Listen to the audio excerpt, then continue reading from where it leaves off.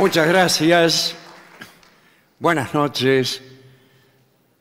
Una gran alegría estar en Montevideo.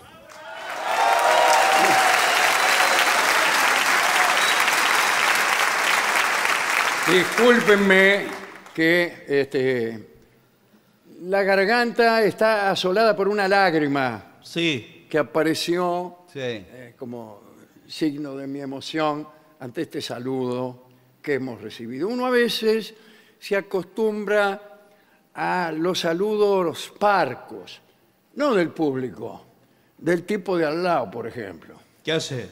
Y así, Si tenés suerte, o si no, te metes tardes. ¿Qué?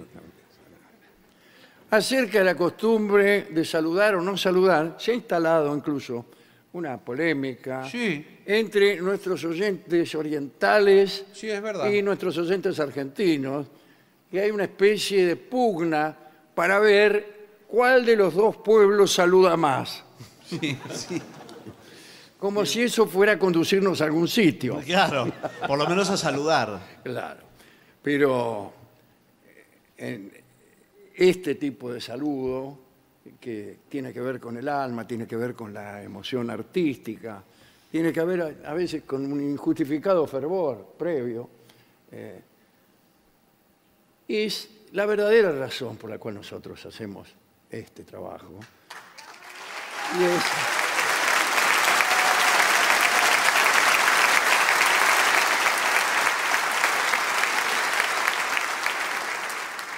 Y desde luego no es la única razón. Pero. Si no, tendríamos que irnos ahora, total, ya está. la- total, ya saludar. Sí. La, la otra razón es que a nosotros también nos gusta hacer nuestro saludo, que es el programa. Ese intercambio de afecto eh, es lo que da sentido al arte. El artista hace su cosa, ¿eh? Eh, toca, hace poesía, y después, hasta que otro cerebro, hasta que otra mente no recibe lo que hizo el tipo Claro, y lo procesa y lo devuelve bajo la forma de afecto o a veces de desagrado o de despacho en disidencia. Pero hasta que no se produce ese contacto, el hecho artístico no se completa.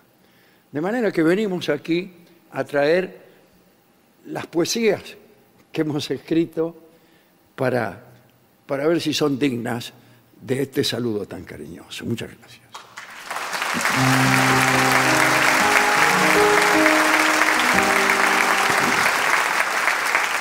¿Tenemos alguna información para dar en forma sucinta? Tenemos eh, agradecimiento. Buenas noches a todos, porque no hemos saludado nosotros. ¿Cómo le va? Hola, Gillespie, ¿cómo le va? ¿Qué tal? El- El gusto enorme de saludarlo. Eh, yo quiero agradecer a la gente del mejor restaurante de Montevideo, que Sí. es Primuseum. Yo no sé si Sí, ustedes señor. han ido. ¿Qué tal? Buenas tardes. ¿Qué se van a Eh, servir? ¿Qué tal? ¿Cómo le va? Muy bien. Pero. Hoy el eh, menú de hoy es verdaderamente muy refinado. Sí, y hay, hay música. Es un lugar eh, encantador ahí en Ciudad Vieja. Eh, lo- la- las exquisiteces que hemos comido ahí, que ni siquiera a veces hasta tienen nombre. Eh, No, como que no tienen nombre. Estamos haciendo unos franfutes. Ese es el trío sin nombre. Los platos tienen nombre. Bueno, pero son tantas combinaciones tan sutiles, con este, condimentos muy exóticos a veces. Eh, chimichurri. No, sí, no. Bueno, sí, también, también. Sí, por supuesto que Una- también. una el chimichurri es, en Bélgica es exótico. Una vez fuimos, yo de impresionado saqué fotos, nos dieron que comer huesos. No, no era hueso, señor. Era el osobuco que Bueno, usted bueno. adentro ti- está, No me presen- diga. está presentado así. Está presentado así. Bueno, ahí está ahí en Ciudad Vieja, ¿eh? en Pérez Castellanos 1389. Está de jueves a domingo, eh, de 20 a 0 horas. Pero nosotros vamos más tarde siempre. ¿O Muy bien. Vamos a desayunar. Si usted Primuseum. quiere, eh, las autoridades del SODRE Sí. nos han impuesto un tema. Y sí, y me parece perfecto. Es así. Sí, señor. Y eh, el tema tiene que ver también con muchas cartas que hemos recibido de personas que quieren instalarse o quieren hacer turismo aventura entre los esquimales del Polo Norte ¿Hay mucha gente interesada en eso? Muchísima. Yo por lo pronto... ¿Cuánta más o menos? Eh, no sabría decirle, pero muchísima. Sí, sí, sí. Mire, no, no. no Empezaron hace algunos años con programas de Alaska. Ese fue el comienzo. Programas de, de cable, de gente que ¿Usted se- ve que todos los documentales que hay en la televisión son sobre Alaska? Sí, señor. Pero ¿usted sin qué que a canal nadie le mira? interese un pepino lo que ocurre en Alaska, peligro en Alaska, eh, Alaska la última frontera, el ferrocarril de Alaska, Alaska en el aire, Las vio fauna todas. de Alaska, Las ve todas. lo que me pasó en Alaska. Y ahora un paso más allá. Polo Norte. Polo Norte. Y los esquimales, que son los habitantes de ahí que no son eh, lo- los habitantes originarios. Claro. Y originarios. vamos a ver, eh, disculpa que te trate de usted, mejor Bueno. dicho, que lo, te trate de vos. Voy a tutear, suponiendo que es muy joven, La audiencia para a, esto. a la audiencia que está interesada en viajar y conocer a los esquimales. Esas simpáticas personas. No sé, no sé, no sé Bien, adelante, no sé si son simpáticos. Eh, los, eh, en realidad los esquimales a ellos mismos no se llaman esquimales, No. porque es un término un poco de- despectivo. Es despectivo, me parece. ¿eh? Sí. Claro. Entonces se llaman inuit, que, Exacto. que es mucho peor. Bueno, no, no sé si... me- Yo si tuviera que es- que elegir entre ponerle a mi hijo esquimal o inuit, le pondría esquimal. No, bueno. Lo que pasa es que parece una pregunta. ¿Inuit? Sí. No sé. Bien. Cuando éramos niños nos fascinaban las figuras de los esquimales con sus abrigos de pieles, su vida en los iglúes, su aspecto de cazadores, etc. Sí. No conocía a nadie fascinado por estas cosas. No, no, discúlpeme. Todos los cuentos infantiles que me contaba mi abuela. ¿En serio? Tenía un repertorio Pero- eh, igual que el, que el de los, este, co- eh, ¿cómo se llama? De los documentales. No, no, no contaba todo así, pero apa- cuando aparecía un iglú, yo le decía, abuela, ¿me lo contás otra vez? Qué Veo que los bien. chicos piden el mismo Claro, cuento sí, muchas sí, veces. sí. Su abuela decía, había una vez un iglú. bien. Eh, si bien eh, los, anim- los animales, no, los esquimales, Sí. Sí. no pueden verse como un grupo hom- homogéneo, porque hay, hay esquimales y esquimales. No, los que están desperdigados. Claro. eh, hay un montón de rasgos comunes que vamos a analizar. Listo, empieza. Bueno, Si quieres vivir entre los esquimales, deberás acostumbrarte a moverte en forma constante. Por el frío. No, eh, ahora noto que es otra cosa. Ah, a ver, ¿cómo? Los esquimales desarrollan una vida nómada y siguen las migraciones de los animales que cazan para comer. claro. Como si nosotros tuviéramos que movernos Claro, claro. eh, según las Corriendo a las vacas. Bueno, un poco o sí. las gallinas. Sí. Lo hacemos. Sí. Pero lo que ocurre es que las vacas y las gallinas no son, eh, no se mueven tanto. Claro, claro. Tanto como los osos, las ballenas, las focas, los caribúes. Eh, por eso debes estar preparado para estar continuamente en movimiento, etc. Los animales, los eh, que, que- que comen, eh, este, hay que cazarlos. Sí, y- Claro. y, y le digo, algunos de ellos no son fáciles de cazar. ¿Usted mencionó un oso? Un oso. Es imposible de cazar. No, no, no O es sea, imposible porque lo no hay cazan. comparación entre la caza de una gallina No. eh, que además está recluida en un perímetro acotado como es el del gallinero. Sí. Entonces, si usted corre a las gallinas, hay un poco de dificultad. Sí. Hay un poco No de se deja la gallina. No se dejan agarrar No. continuamente a lo que dice la leyenda popular, Sí. las gallinas. Entonces usted las corre. Correr una gallina eh, es, es como correr agachado. Sí. Sí, sí, porque se le puede escapar. Cuando uno está lesionado en las rodillas, corre así. Y lo deja uno al borde de la desconsideración social, ¿no? Sí, claro. porque Porque Sacarle un una aspecto- foto a una personalidad acreedora del premio Nobel Claro, corriendo una sí, gallina es Y le digo, Sí. te- tenga cuidado porque muchas veces se agachan y la gallina pasa por las piernas por las piernas Le abiertas. pasa entre las Sí, piernas, si sí, me permite bueno, la expresión. En cambio, no así el oso. No, no, el No. oso, ahora. Sí, sí. Si el oso le pasa entre las piernas, que usted Claro. ha sido partido al medio. De todos modos, nadie ha visto todavía Mm. Una gallina en el Polo Norte. Es un lindo título para una comedia Sí. estúpida. Una gallina del Polo Norte. No, porque eh, ¿cómo ponen los huevos? Imagínese la gallina poniendo huevo en el Polo Norte. Claro. Sí. Además, con los vientos que hay, Sí. es posible que tenga que poner varias veces el mismo huevo. Sí. Disculpe la utilización de un chiste clásico. Bueno, además los esquimales se hacen su propia ropa Sí. Claro. con la piel Pero por supuesto. de los animales que se han comido. Del oso y las plumas de la gallina. Claro, por ejemplo. Dice, eh, deberá ser muy hábil para confeccionar ropa. Me la llevo de acá. No, pero no, es que ese es el tema. Que ellos viven allá y allá es- lo único que hay es hielo. Todo lo que ellos tienen lo fabrican con, los, con estos elementos. Es decir, eh, la ropa con los animales. Sí. Pero, perdón, eh, Inés, Sí, vos que sos eh, modista. sí. Y una de las mejores. Bueno, ¿no me podés hacer el dobladillo del... eh, porque cazamos un oso polar. Aquí lo traemos. Es un poco gruesa la, Sí. el cuero del Hay que oso. sacarle un poquito, rasquetearle la carne Sí, sí, que le sí. quedó pegada. Claro. Eh, nosotros nos lo hemos comido todo por dentro, Sí. pero hemos dejado esta piel para hacer eh, como un enterito, un, Sí. un osito. sí. Algo de... Eh, le digo- Sí, un osito de media estación, que en Alaska es cero grados. Sí. Le digo que sobra, ¿eh? con todo el cuero que me trajeron, pero le puedo hacer el, el- el osito y les puedo hacer la ropa interior si quieren. Ah, bueno.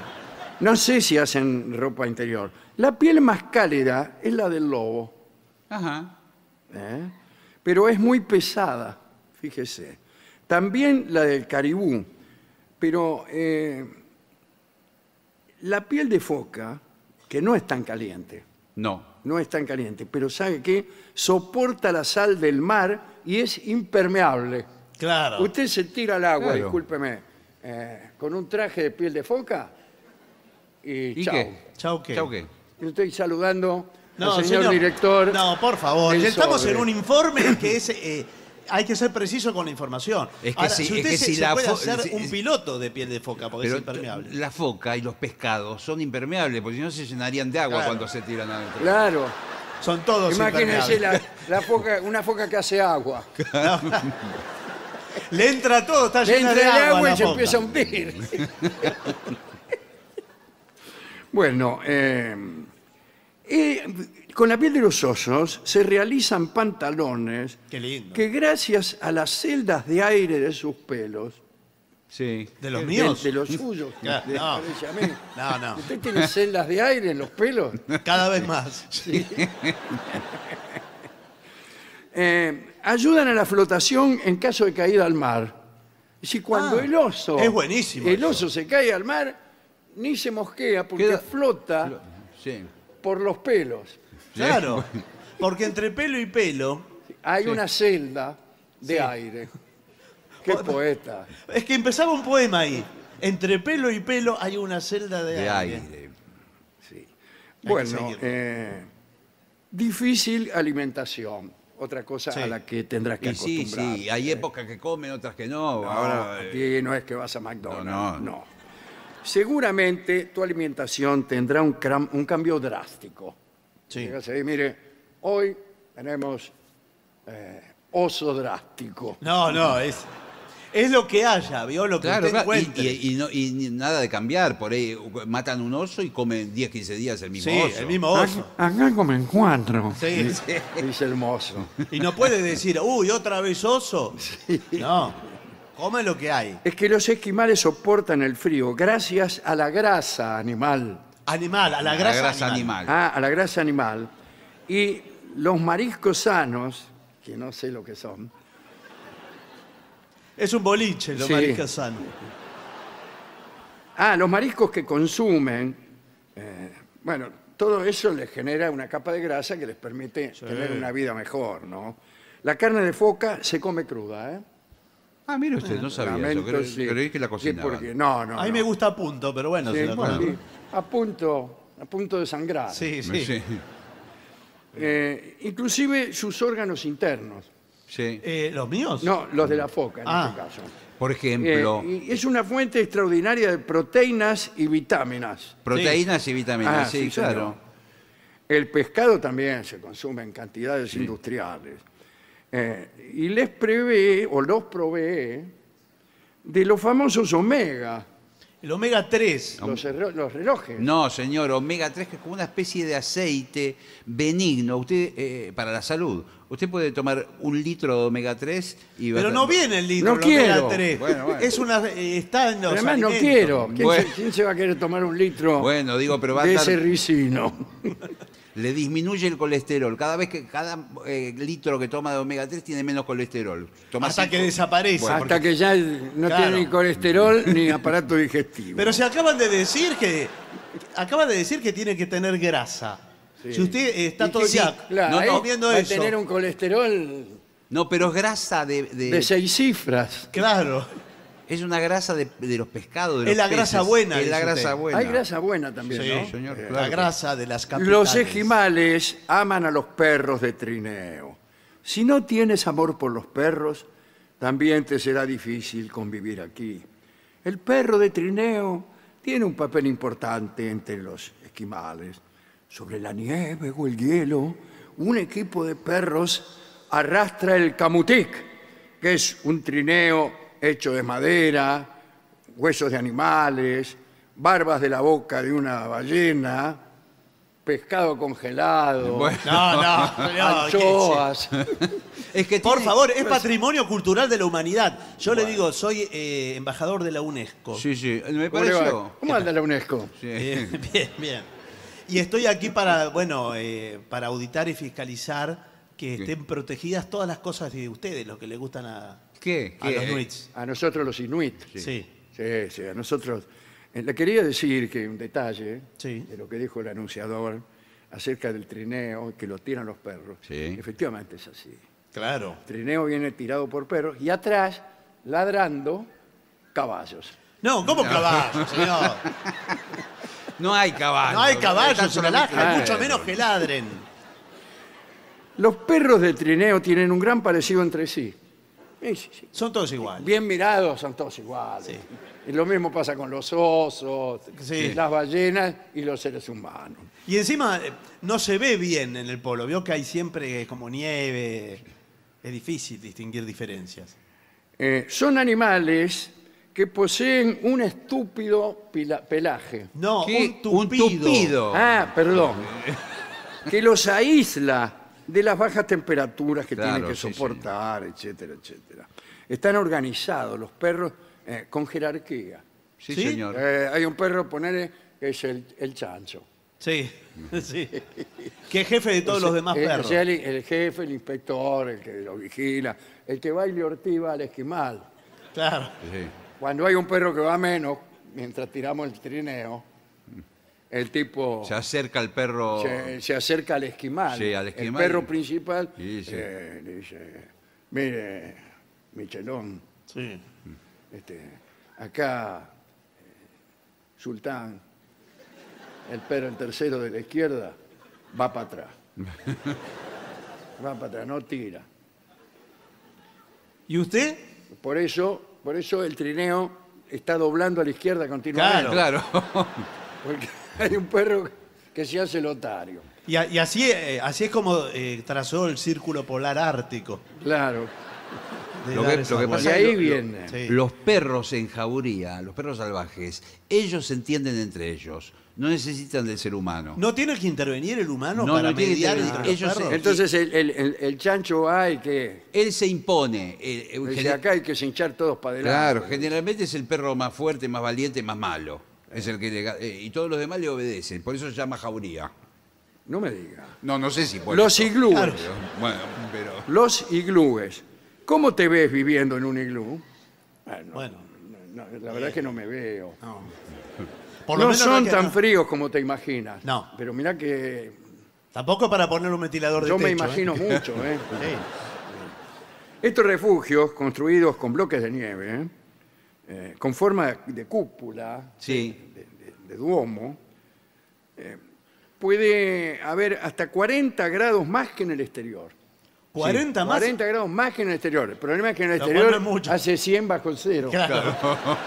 Adentro 60. y nos congelamos igual. No, bueno. Pero por lo menos tiene una ventaja, no le da el viento. No, Claro, no le- no le está da muy ni bien lo que Claro, dice el señor. claro. ¿eh?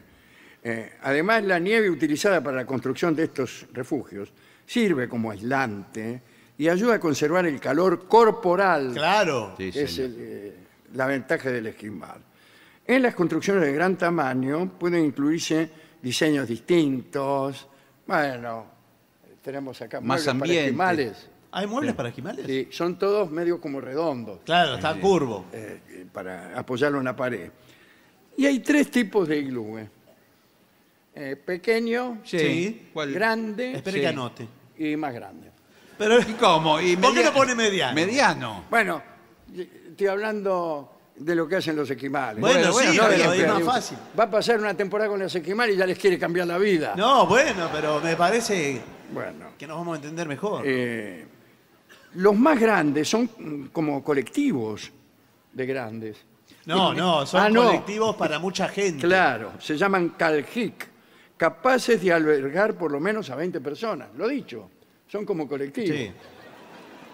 En, en ese caso, la- la- tanta gente eh, se beneficia, porque están los 20 tipos. o- o- La- mi- uno eh, arriba del juntos. otro, que es la Bueno, manera, la Sí. manera de mamar, de dormir. No, ahora uno arriba Sí. del otro, con piel de foca No, no, y vestidos de y- oso y- polar. Y, además, los perros también pueden estar adentro. Los perros, Eh, a veces bueno. los dejamos entrar, a los Sí, perros, los perros del, del trineo. porque entonces- no hay tanto calor corporal. Claro. Los perros son calientitos. Distinta la foca, ¿eh? Pero cuidado, no se, no se pase de, de gente adentro, porque se le empieza a derretir el iglú del calor. de ¡Qué adentro. de calor! Si mucho se queda- ¡Qué calor! ¡Qué calor! Buah. Eh, dice, El beso esquimal. Sí. Es Sí. una novela pornográfica Sí. que está de moda entre los esquimales. Deberás acostumbrarte a cambiar ciertos hábitos. Por ejemplo, el beso esquimal consiste en frotar las narices. Narices. Narices. Ah, narices. Narices, Ah, claro. Si quieres vivir feliz, como tú dices, no analices, muchacho, no analices. Ajá. Es narices. Sí, Por favor, mozo, me gusta mucho el anís. Sí. sí. Tráiganos tres anises. No, bueno, pero. eh, No, tres aníes. va a Con querer- manices. No, bueno. Con maníes. Con maníes. Con maníes las narices y los Bueno. anises. Eh, el matrimonio, ah, no, digo, ¿por qué no se lo dan en la boca? Me refiero al beso. Sí. eh, como ocurre en el resto del mundo. ¿Qué sabe usted? ¿Quién no. sabe, señor? Esto Ah, tiene, eh, tiene una razón, porque el, el líquido que tiene, un- que tiene la gente en la boca ¿Qué adentro. gente tiene líquido en la boca? Usted tiene un whisky en la boca. Hizo de. Lo que sea, lo que dice el señor. Eh, el líquido se congela y usted cuando le da un Se queda beso pegado. queda Sale- pegada a las dos voces. Se quedan pegados. Claro. Y eso, imagínese, socialmente es impresentable. Usted le, le- le da un beso a una mujer, incluso clandestinamente, Sí, sí. y quedan pegados ahí que no se pueden despegar. Eh, me- se me ocurre una analogía que no voy a hacer aquí. Sí. Sí. Pero los perros están adentro del iglú.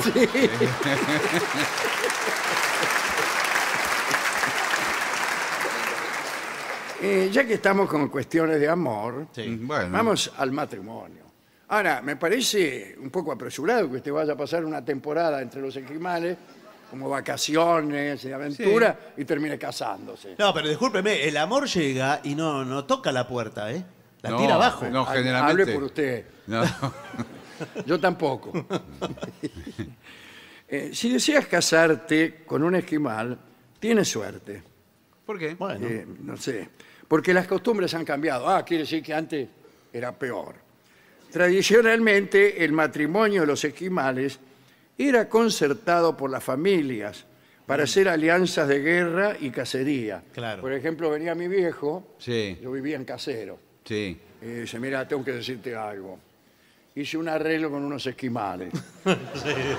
Tenés que ir al estrecho de Bering y casarte con una tipa ahí. Pero, pero, eh, papá, ¿y el amor? Hijo, somos gente grande. bueno. Igual le digo que no solo los esquimales, pasó con un montón de las culturas hoy civilizadas. Ay, sí, Antiguamente señor. se acordaban. Casi todos estamos casados, menos yo, que soy soltero, Sí. con personas eh, de nuestra misma condición. Sí. Por ejemplo, ¿usted eh, a qué clase pertenece? Yo a la clase alta. Mentiroso. Entonces usted también está casado con una mentirosa. bueno, eh, digo, en la actualidad dichas reglas se han relajado. Sí, en, el ya es un- sentido, en el sentido uruguayo. Sí, sí. Es un relajo. Es un relajado, es esquimal. Bueno, eh, y los jóvenes se casan con las preferencias. No poseen ceremonia, ceremonia no, no Sí. poseen. Y ceremonia tampoco, mire usted. Ninguna ceremonia nupcial. Directamente, se casa y chao. Y, eh, se- Casado, ya está. ¿Y cómo se dan cuenta que de un están mom- casados? Porque uno se da Eh, cuenta, se de- dan cuenta. en el casamiento. Le- le- le- ¡Ah! En épocas pasadas, la, fíjese esto, ¿no? Qué tremendo. La gordura femenina era considerada una virtud. Claro. Bueno, no Y hay ni sí. una virtud ni lo contrario. Pero se creía esto que era una señal de salud y, y fecundidad. claro, y de prosperidad. Y claro. Y de Sí, sí. reserva de alimentos. Claro, Sí, todos señor. los pescados que se comió. El divorcio ha existido antes y después del matrimonio. Sobre todo Ah, no, después. antes y después de, de- de- de estas fechas. Ah. Pero nunca ha tenido índices muy elevados como sucede en otros países. Claro. Porque no van a hacer el trámite, si no, no hay trámite de tam- casamiento. y va a haber tampoco- A mí Vamos. alguien me contó, probablemente con la intención de burlarse de mí, yo he hecho toda una gran cultura de personas que me comunicaban cosas y con los años descubrí que muchas de ellas eran falsas, ¿Las personas?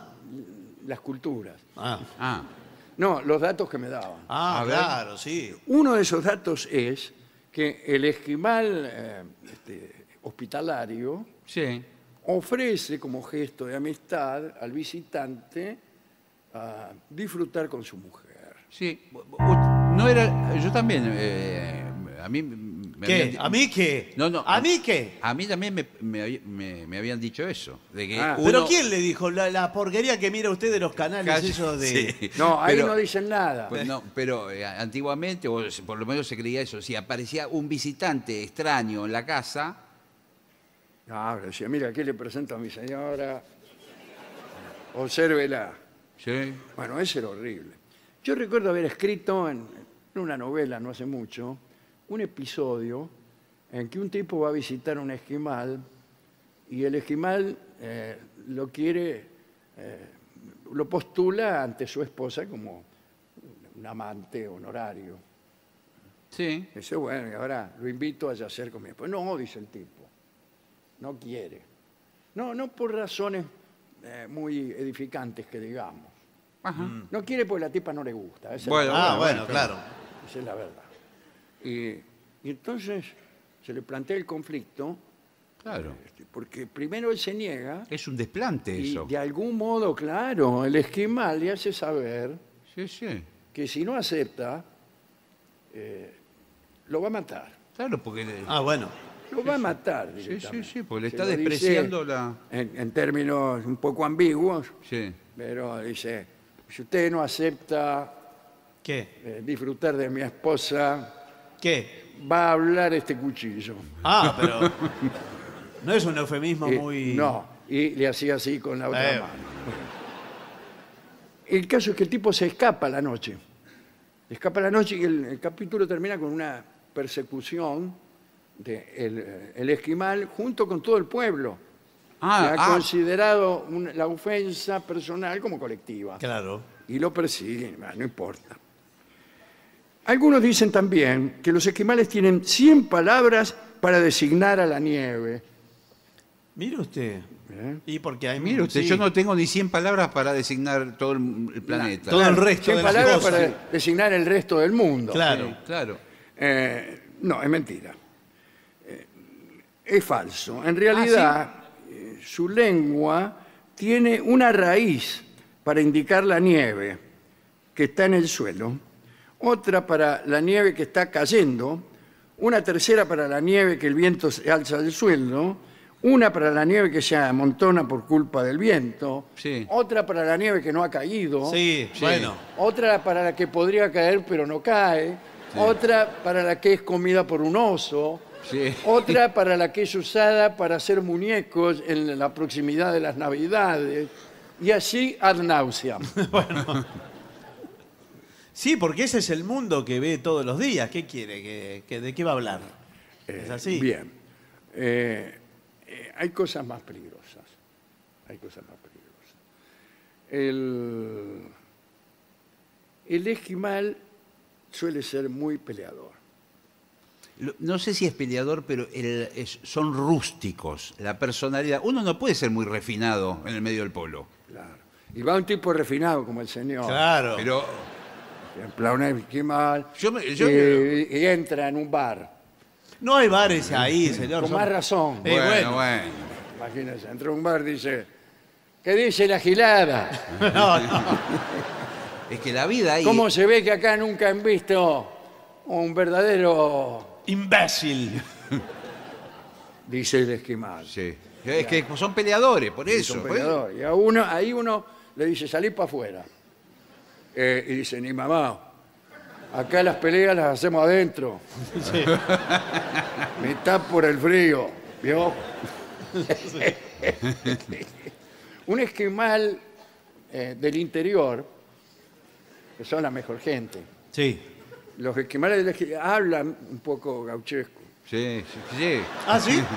Eh, sí. ¿Y usted de qué, de qué parte del polo es? Bueno, yo soy de polo adentro. Ahora, Tengo un rancho. Yo el, el polo norte propiamente dicho. sí, el... ¡Ay mismo! ¡Ay también! mismo! ¡Ay mismo! Todas las noches salgo primero, primero al sur, Sí. después me doy vuelta Sí. y miro al sur. y después miro para el costado y miro al sur. La verdad que eh, nosotros vinimos desde muy lejos. Desde muy lejos. con venimos. esta misión que nos mandó, por ejemplo, la UNESCO. Ajá. porque El señor es el embajador. Eh, veníamos a traer esta ¿El condecoración. señor de la UNESCO? Sí. Un rumano. No, no, no soy la UNESCO de apellido, pero represento a la UNESCO, a las Naciones Unidas, Sí. en su dimensión cultural. Y queremos ponerle esta placa Sí. en reconocimiento al... eh, usted la- va a ser un a- símbolo vivo de la cultura de los- Exactamente. A partir, Esta de, placa no está viva. No, No. no. a partir de ahora, usted va a ser protegido por la UNESCO y declarado Patrimonio de la De Humanidad. la humanidad. Muchas gracias. Muchas gracias. Mire, estoy emocionado. No, bueno. Le vamos a clavar un palo No, en el... estoy más emocionado. No, no, espere, señor. Le vamos a clavar un palo para señalizar el Polo Norte con el, el símbolo de eh, Naciones Unidas. Justo en el, en el medio rancho. Es que nos dio acá la cuadratura, hicimos todos y los además, cálculos, ¿no es y cierto, además Roberto? hicimos los cálculos. Es el único rancho que hay aquí. El único, sí. Todas las demás construcciones son igluses. Exactamente, por eso, como es. Y este es un rancho. Pero el techo de ¿Qué es paja. lo que lo distingue? El techo de paja. Mismo. Ah, Cuando llegué aquí, ¿qué? no había nada. Pero Y si no, hay nada. No hay nada ahora. Ahora tampoco, no, no. Pero queremos felicitar por cómo se dio eh, eh, maña. con- eh, eh, estas son costillas de ballena. Hizo toda una estructura de costillas de ballena. Es, el- es lo único que hay aquí. Claro. ¿no? Bueno, y, y todas las paredes tapizadas con piel de oso y de foca, lo cual le da. Es cultural, Sí. es el valor de la cultura porque Es eso cultural, patrimonio. le- Es le- patrimonio. le- le da Tengo una foto aquí también. ¿Qué, ¿Qué foto tiene? A ver. Bueno, eh, no sé en realidad. ¿Esta foto? Esta, Pero esta es una foto de Fred Astaire. bueno, si usted lo dice, así será. Pero qué es la única foto que hay acá en el pago. Pero- ¿Y cómo vino a parar una foto de Fred Astaire? No lo sé, pero la tengo yo, canejo. Y bueno, bueno, Llámele como quiera. no, está bien, le llamamos como le llamamos. Escúcheme, acá el mate lo toma frío usted. El mate ¿Sí? no es pos- eh, no hay bombilla. No hay bombilla que aguante. bueno, sí. El agua llega hasta la mitad y es hielo. Sí, bueno. Entonces agarramos, Sí. primero nos comemos la hierba Sí. y después nos comemos la nieve. Y salimos a correr. Bueno, claro. Y ahí tiene mate. A veces pasamos corriendo y me dice, don Zenón, ¿qué está haciendo? ¿Ya lo ve? Mateando. Sí.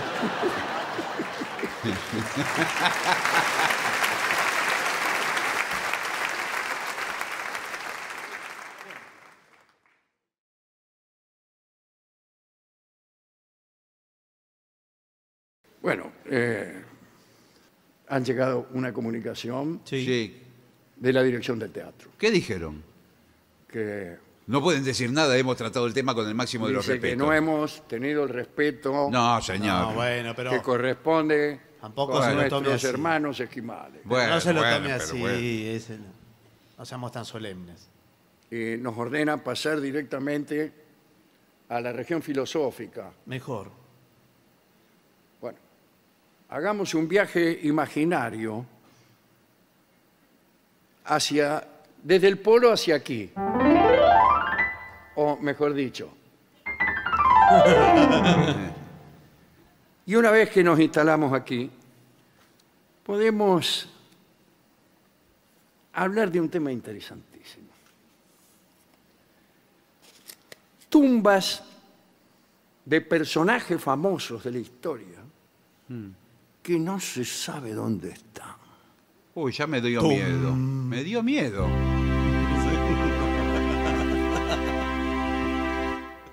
Algo raro ha pasado. Sí. Me parece que se están haciendo presentes. Es un acorde mayor. Sí, es que toqué una nota y salió un acorde. Sí, bueno. Pero, eh, eh, ¿qué cosa? ¿Y dónde están esas tumbas? Vamos a ver. Tenemos una colección de figuras ilustres de la historia, de distintas etapas de la historia.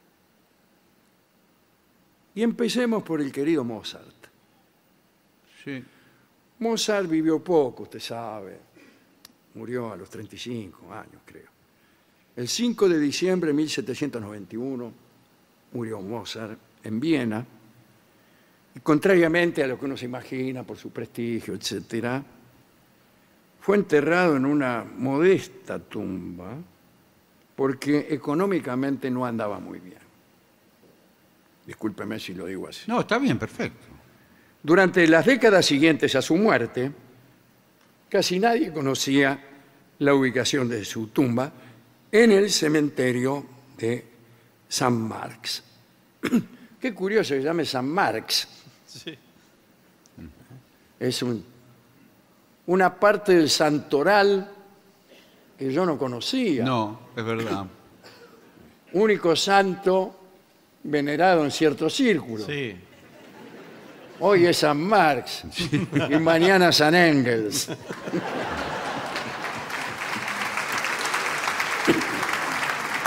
Ya no se sabe qué día dicen eso. Sí, sí. El 18 Brumario. Hoy hay un monumento donde se cree que está él. Pero no se sabe si es él. Existen dudas sobre si sus restos son sus restos. Es decir, parece que hay un supuesto cráneo del compositor al que se le han hecho diversas pruebas de ADN, comparándolos con las de su sobrina y su abuela materna.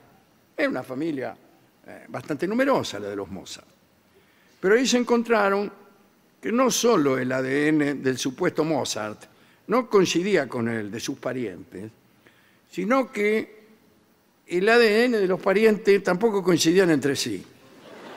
Bueno, es un desastre. todo Acá eso. está pasando algo muy malo, doctor, Me parece que ya pasó hace unos esta, años. con esta investigación que estamos haciendo. Sí. Alguien nos está saboteando. Y así termina la historia de Mozart. No sabemos nada. No se sabe. Y imagínese, Pero ¿cómo qué puede suerte, ser llega el que- ADN, vamos a hacer las pruebas de ADN.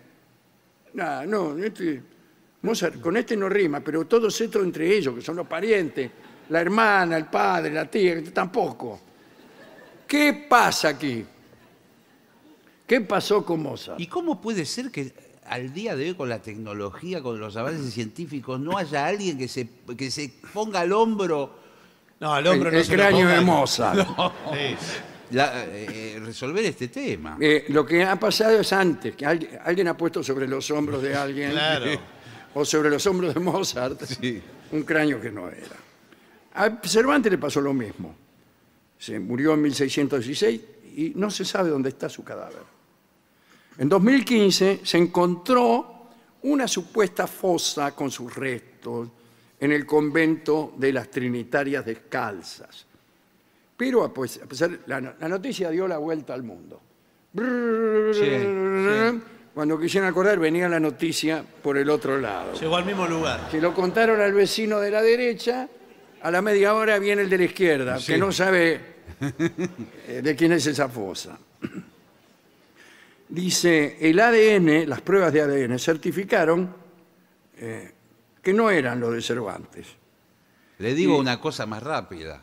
Es que si- tenía las dos manos no era Cervantes. Eh, ¿O no? está muy bien pensado. Y sí. Eh, creo que era un, un- no estaba en las manos. Bueno, Ah, eh, se hallaban en la fosa los restos de al menos 15 individuos y, y- y no, no- tampoco, no se parecía. Yo estoy ya pensando que el ADN no sirve para nada. No, no, No, es bueno. así, señor. Es que Todo mezclaron las Una, cosas. ¿Sabes qué? Una patraña de los laboratorios. Mezclaron los huesos en una misma camioneta, por ejemplo. Me, eh, subieron Y cosas andás a ver. y se mezcló todo. Bueno, estos que vienen son más interesantes. El primero es nada menos que Genghis Khan. Usted sabe, tipo que nació en Mongolia, se llamaba Tamujin y después fue ascendiendo en aquella sociedad de a caballo, a fuerza de valor, de energía, y hizo la guerra a todos los vecinos, conquistó la China. Hemos contado muchas historias de, los mongoles. Y finalmente tuvo un imperio cuyas fronteras comprendían desde el Océano Pacífico hasta el Mar Caspio, y más porque los sucesores, por ejemplo su nieto, el Kublai Khan, que fue, que fue aquel que encontró Marco Polo cuando llegó a la China. Dijo, estos son los chinos, dijo Marco Polo. Mentira, eran los mongoles. Y Marco Polo dice, más sí, lo mismo habrá dicho. Claro. Bueno, eh, digo, más adelante el imperio mongol llegó hasta las mismas llanuras de Hungría. Es enorme. Ahora muy bien, en 1227, antes de, de Kublai Khan, murió el Genghis Khan. A mí me enseñó Roy Bartholomew que sería el Genghis Khan, que la K y la H se pronuncian J, al menos en la casa de Roy Bartholomew. bueno. Algunos creen que falleció víctima del tifus, otros dicen que se cayó de un caballo, lo cual más bien convendría ocultarlo. Claro, sí. Si el, el emperador estar, de sí. Mongolia se cae del caballo, bueno, ¿qué queda para mí? Sí. Y una tercera eh, versión asegura que una de sus concubinas lo asesinó. Sí. Lo puede haber asesinado con tifus y una vez que se cayó del caballo. Eh, ¿cómo También lo- pueden lo haber sido las tres cosas al mismo Sí, tiempo. Eh, es muy frecuente entre los mongoles que al enfermo de tifus la esposa lo asesina haciéndolo caer del caballo. No, no creo, señor. muy rebuscado. Ahora bien, el Genghis Khan había expresado su deseo de que el lugar donde instalaran su tumba fuera secreto. Dice, yo no quiero la gran Barcelona, no quiero que nadie perturbe mi sueño, por decirlo así. Para asegurarse de que no se supiera a dónde estaba enterrado, todos los aldeanos que vieron la procesión o que asistieron a su entierro se suicidaron.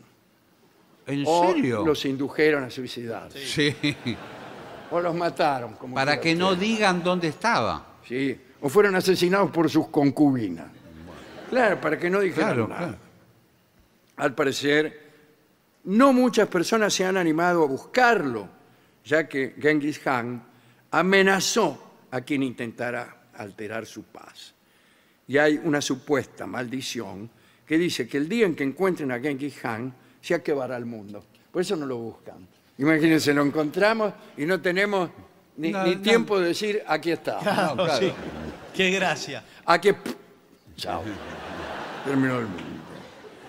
El científico Al- Albert Lin sostiene, pero sin haber hundido nunca una pala en la tierra, que el Gran Han está enterrado en unas montañas sagradas al noroeste de Ulan Bator. En realidad no tiene ninguna necesidad de enterrar balas en la tierra, sino que basta con examinar fotos satelitales y desde el aire. Va a tener más suerte que andar con una pala como un gil, Probando. probando por, por todo el Sí, imperio. pero igual con más, por, por más que tenga la foto satelital, posiblemente está cubierto de escombros. No lo pueden encontrar. Escombros no va a haber Bueno, ahí, bueno. será de pasto. Bueno, eh, en, en unas montañas al noroeste Bator, la capital de Mongolia, hallaron restos de cerámica, pero, pero nada más. También en mi casa hay restos Pero de te cerámica. mandamos a buscar a, a Genghis Khan. Bueno, hay eh, un autor francés que se llama Jean d'Ormesson y que escribió o sobre este deseo del Genghis Khan de ocultar su tumba o sobre el deseo de Atila de ocultar su tumba. Yo no recuerdo sobre Ajá. cuál de los dos. Pero por las dudas voy a contar también lo que pasó con Atila. Bueno, Bueno, el jefe de los hunos, gobernó también un gran imperio, más efímero que quizá que, que el de Genghis Khan, durante unos 20 años. Lo conocían como el azote de Dios. Presénteme sencillo, le decía el locutor. Sí. El azote de Dios. Atila, el azote de Dios. Bien. Sus posesiones también abarcaban desde Europa Central hasta el Mar Negro, desde el Danubio hasta el Báltico. Bueno. Y falleció Atila, pobre Atila, tras los festejos de una celebración de su boda, a causa de una hemorragia nasal. es que no, que, es que No se puso un algodón, claro, algo. no tenían los conocimientos de medicina que hay hoy. Bueno, pero, en fin, el azote de Dios. Sí, claro. Qué decepción, ¿no? Porque Genghis Khan se cae del caballo, este, Y se- este- el azote de Dios le sale sangre por la nariz. ¿Qué queda para mí? Sí. Sus soldados, los unos, con H, Sí. en señal de duelo, se cortaron el pelo y se hirieron con sus propias espadas. Y después lo enterraron en un triple sarcófago de oro, plata y hierro. Y con él, con ese sarcófago, pusieron el botín de sus conquistas. Y quienes participaron del funeral fueron ejecutados para mantener el secreto del lugar del enterramiento. No solo eso, Yo no voy más a un entierro. no, No, no. Es un emprendimiento ya.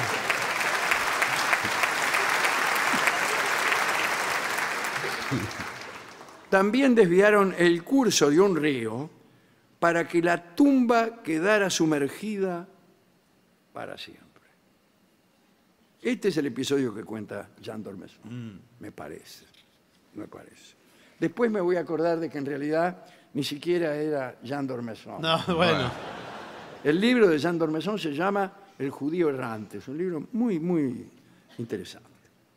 Hablemos de Cleopatra y Marco Antonio. Señor, por favor. Eh, usted sabe que ellos eh, hicieron un pacto suicida cuando, después de perder la batalla de Actium, eh, desaparecieron, qué sé yo, y al parecer Cleopatra se habría suicidado haciéndose morder por un áspid, que es una serpiente venenosa. Bueno. Ahora bien, después de eh, ese episodio, Octavio, que fue el que le ganó, Octavio después sería el primer emperador romano, Augusto. Eh, se hizo cargo de sus hijos Y los hijos de Cleopatra y, y Marco Antonio se llamaban Ptolomeo Filadelfo, ¿qué tal, Tommy? Sí. Y Alejandro Helios, ¿qué tal, negro? Eran hermanos menores de Cesarión. Cesarión me parece que fue el hijo que tuvo Cleopatra con Julio César. Eh, discúlpeme Sí, si sí. parecemos un programa de chimento. Sí. Pero todos esos partieron de Egipto hacia Roma en el año 30 antes de Cristo. Eh, Cleopatra y Marco Antonio nunca más se supo. Y estos muchachos tampoco. Ah, bueno, pero. Octavio los llevó a Roma y los entregó a su hermana, no a su hermana, la Ah. hermana de él, la hermana de Octavio, que sabe cómo se llamaba, Octavia. Eh, ¿Y sabe quién era? ¿Quién? Era la mujer anterior de Marco Antonio. Ah, bueno. Marco entonces, Antonio la había dejado Por Cleopatra. por Cleopatra. Eso no me lo voy a callar. Bueno. Que lo sepa bien el director del Sodre, no me lo voy a callar. Ahora sí que somos un programa de chimentos, ¿eh? Ahora, Dion Casio, que es un historiador, dice que los hermanos llegaron a Roma, pero después no dice nada más. Muy buen historiador. Claro. Muy bueno. Y que escribió todo un libro sobre eso. No recuerdo si fue él o Jean Dormesson. No, bueno. Por favor. La muerte de Cleopatra en el año 30 terminó con la dinastía tolemaica y marcó el declive de la civilización egipcia. En realidad no, eran griegos. Cleopatra era griega. Cleopatra. Claro que estaba en Egipto, claro que se produjo un sincretismo ahí también, eh, y casi el nacimiento de una religión de compromiso. Pero los egipcios ya habían empezado a decaer cuando los persas invadieron el Egipto allá en el siglo VII antes de Cristo. Pero bueno, el caso es que los, la muerte de Cleopatra es, es teatral, como hemos dicho, imagínense, es shakespeariana. Sí, claro. Y lo es no solo porque las acciones remiten a una teatralidad, sino porque Shakespeare escribió Antonio y Cleopatra. Y entonces eh, nos acordamos más por lo que dijo Shakespeare que por lo que dijo el, el amigo Dion Casio o también Jean Dormesson. No, bueno.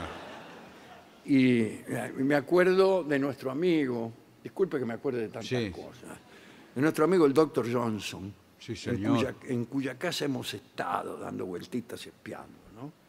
En Londres. en Londres, un gran escritor este, inglés, que eh, oyó que alguien criticaba esta obra de Shakespeare que se llama Antonio y Cleopatra.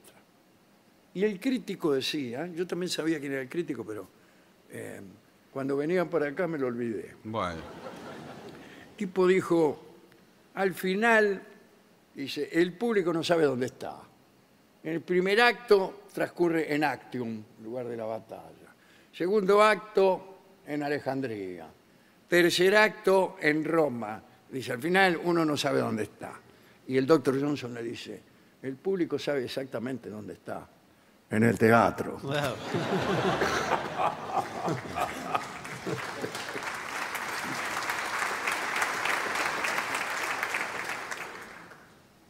Al no encontrar nunca los restos de Cleopatra, el servicio egipcio de antigüedades empezó a tallar. Y les pareció que podía estar cerca de un templo, que es el templo de Taposiris Magna. Es un templo también sincrético. Eh, Y dice, quizá también está Marco Antonio ahí, dijo el tipo. Un egiptólogo dijo esto, se llama Awas. Eh, pero dice que el palacio de Cleopatra, que es donde, en cuyas cercanías está el- la tumba, está bajo el agua ahora. Cambió la geografía, está bajo el agua. Bueno, no son más que inconvenientes. Y bueno, sí, sí, bueno. señor. Todo esto es una gigantesca conspiración para que yo no pueda hacer tranquilo un informe sobre dónde está la tumba de cada uno. Es que no Y sabemos. Vos me decís, fulano está aquí, el otro allá. Este, buah. Ahora bien, la dinastía a la que pertenecía Cleopatra en realidad proviene de Alejandro Magno, que unos 300 años antes había fundado Alejandría. Y cuando se murió, eh, se disputaron ahí, muchas disputas desde luego, pero en Egipto se quedaron unos tipos, que son los Ptolomeos. Y Cleopatra era parte de esa familia, incluso una familia, ya que estamos de chisme, se casaban entre hermanos, se casaban. Bueno. Bueno, señor. Sí.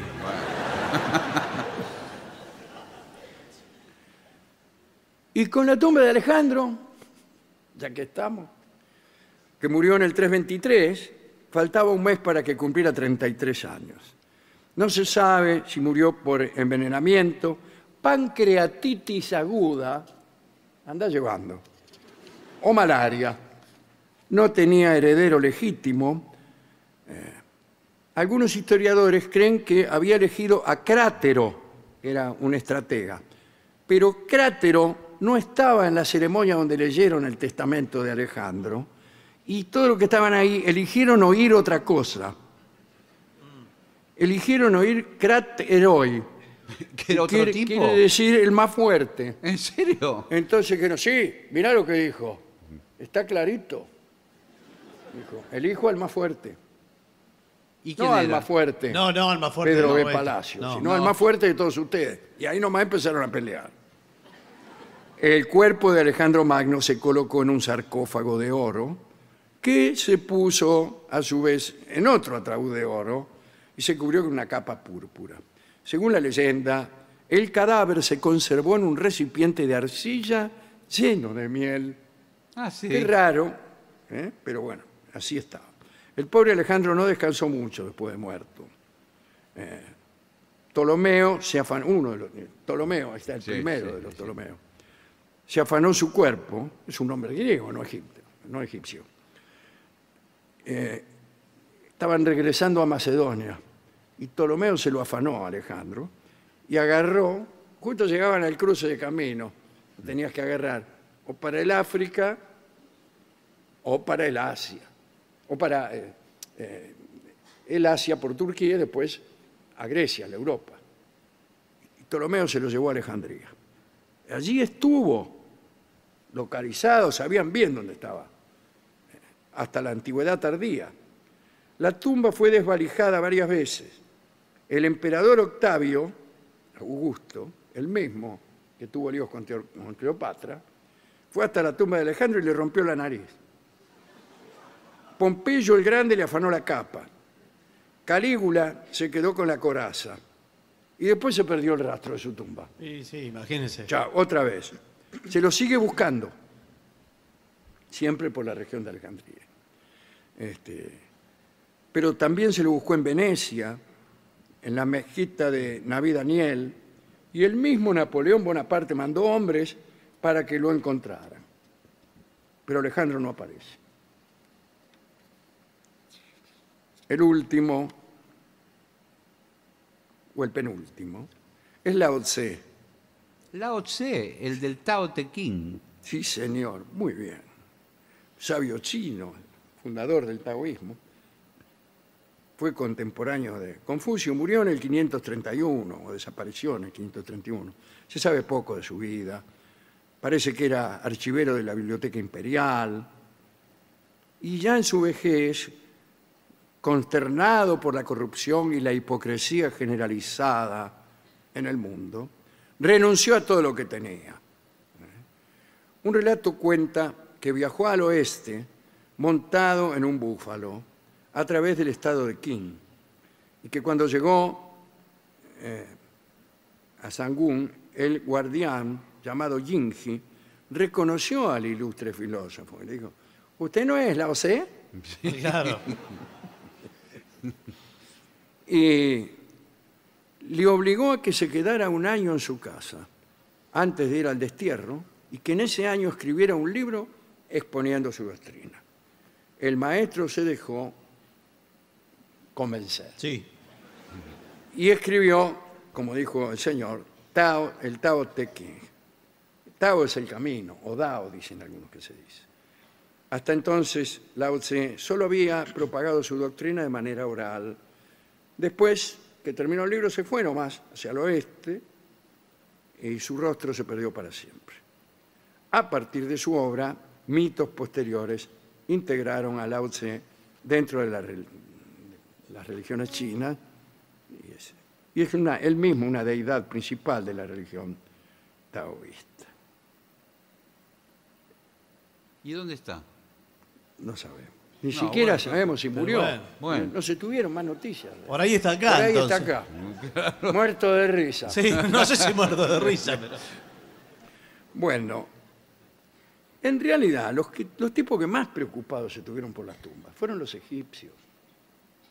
Y para ellos creían en la vida eterna y para ellos las tumbas y la conservación del cuerpo eran lo que garantizaba la vida eterna. Como así también, agregaría yo, el recuerdo Mm. que esas construcciones eh, garantizaban eh, difundir entre los que quedaban vivos. Nefertiti era la mujer de Akenatón, aquel tipo que había cambiado la religión. La religión eh, de Amón fue reemplazada por la de Atón, que además no tenía otros reyes, otros, otros dioses. Era bueno, probablemente la primera religión monoteísta. Bueno, se casó con ella eh, y nunca encontraron la tumba de ella. La de sí. Buscaron incluso en la tumba de Tutankamón, mal buscado. Tutankamón era una especie de yerno que tenía Akenatón, casado con alguna de sus hijas probablemente, que se llamaban eh, Bequetatón, se llamaba una de ellas. Bueno, no importa. Eh, pero en realidad la tumba de Tutankamón fue revisada centímetro por centímetro y no había nadie ahí, ¿eh? ni Nefertiti, No. ni Genghis Khan, ni, ni ninguno. Ahora bien, hay una hipótesis que dice que la momia de el sarcófago de Nefertiti podría estar en el Museo Egipcio de El Cairo, siendo parte de un grupo de momias descubiertas en, en 1898. Yo sé lo que pasó. Usted sabe que los saqueadores de tumbas eh, no dejaron una en pie. De todas las tumbas de faraones y dignatarios y príncipes y nobles del Egipto, no quedó una sin profanar. Se afanaban las cosas. Había dinastías de saqueadores de tumbas. Pero también había creyentes que amaban a sus faraones. Y lo que hacían los creyentes era saque- no saquear las tumbas, sino sacar la momia de la tumba Y guardarla. y esconderla en un lugar. Todo esto recién se descubrió en 1898. Encontraron una, tum- una en realidad una cueva con ponele cuarenta y tantas momias. Leyeron y descubrieron que había momias ilustres allí, entre ellas la de Ramsés. Momias que ya se sabía que no estaban en las tumbas correspondientes. Claro, todas juntas. Y ahí. entonces pensaron que eran estos fieles que querían asegurar a sus faraones la vida eterna. En, en realidad, este, hoy en día, usted sabe que después de los egipcios muchas religiones también este, pensaron que para asegurar una mejor vida después de la muerte había que recordar a los finados con ofrendas, con homenajes, rezos eh, y construcción de tumbas, qué sé yo. Y si te olvidabas, si te olvidaban tus deudos, te morías para siempre. Eso era lo, que pasaba durante mucho tiempo. Decía Becker, Dios mío, que solo se quedan los muertos. Lo dijo Becker y lo repitió Cadícamo en Cruz de Palo. Canejo, que solo se quedan los muertos. Dice Cruz de Palo. Y yo diría que ahora los muertos están más solos que nunca. Todas las tumbas están solitarias. Y aún los que profesan el cristianismo no tienen la costumbre de visitar los cementerios. Hay, no estoy haciendo ningún juicio. Muchos eligen la cremación y el olvido gana la partida en ese sentido. Si acaso eh, un muerto viera esta situación, elegiría su propio epitafio, un epitafio destinado al paseante solitario que pasa frente a su tumba y que dice, sálvame, save me. It started off so well. They say we made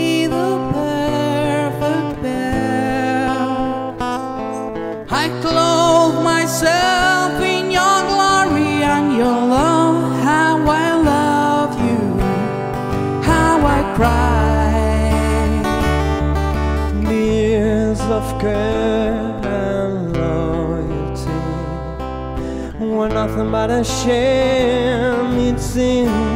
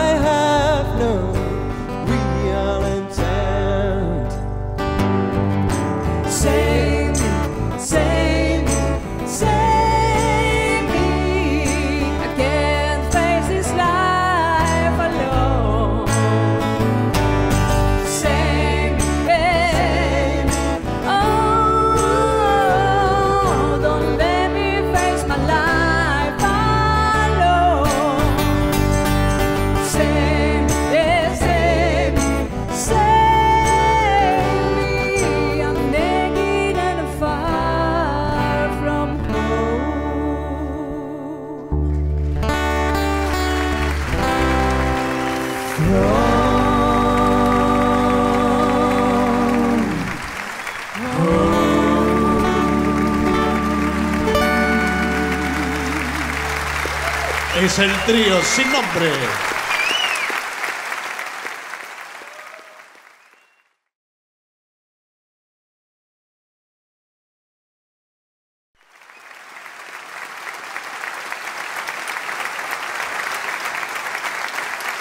Señoras, señores, estamos en Montevideo, en el Uruguay, de regreso. Con la venganza será terrible en el auditorio del Sodre. Maravilloso auditorio del Sodre. El enorme Y bello, bellísimo auditorio del Sodre. auditorio. Señoras, señores, Digo sí. lo de enorme porque hay que venir dos veces para llenar. Sí, Y hemos tenido la suerte de tener una gran concurrencia y además muy amable. Muchas gracias. Te lo digo, señoras, señores, este es el mejor momento para dar comienzo al siguiente segmento. ¿Cómo descubrir un mal amigo? Bueno, Ojo acá en la sala. Ojo acá, ¿eh? Los amigos. eh, Mal comienzo. Sí, sí. sí. Los amigos ayudan a hacer la vida más significativa. Che, qué vida tan significativa que tenés. brindan apoyo social, emocional, etcétera. Alivian los sentimientos de soledad y te ayudan a sentirte más feliz y más satisfecho con la vida. Qué bien. Pero algunas amistades podrían no ser tan positivas y otras podrían ser francamente tóxicas. Cuidado. Y es difícil descubrirlas. Las amistades tóxicas pueden tomar diferentes formas, pero generalmente te agotan y tienen una forma de derribarte en lugar de fortalecerte. Te preguntas, ¿cómo reconocer una amistad tóxica? ¿No estás seguro ¿De qué? de, de cómo lidiar con la situación? Estamos aquí para ayudarte. Somos tus amigos. Bien. Consejos para reconocer y tratar con malos amigos. Primer síntoma. A ver. ¿Quieres ser amigo íntimo en dos días? Mire, debe ser... La amistad lleva, lleva un tiempo. Lleva un tiempo, lleva un señor. tiempo. El tipo que eh, es muy acelerado, eh, eh, algo raro está tramando. porque normalmente, dice aquí, las amistades se forman eh, a través de un tiempo más o menos prolongado. Cuando alguien pretende entablar amistad de la noche a la mañana, actuando como si fuera un amigo íntimo, Bueno, hay que ver le que- da la mano, encantado, Sí. buenas, y ahí nomás eh, empieza a manosear. Rubén, Rubén, querido. Claro. Eh, deberías alertarte y actuar con prudencia. La intimidad, la confianza, progresivamente, no se regalan a cualquiera. Después, el mal amigo te hace sentir mal con bromas. ¿Estás más gordo? Me pareció. Esa no es una broma. Los amigos a menudo bromean entre sí. Claro, Por salí. ejemplo, uno se agacha detrás de otro y un tercero empuja al primero Sí. que cae y todos se ríen muchísimo. Y esa es la amistad. Bueno, eh, un poco de bromas afables no significa que tu amistad este, sea tóxica haga bromas pesadas.